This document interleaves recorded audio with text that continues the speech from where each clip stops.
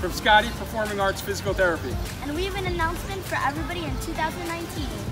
We're going to be rebranding the name, the company to Spark Physical Therapy. It's going to be the same great local service that we provide and the same great educational content online, just with a different name.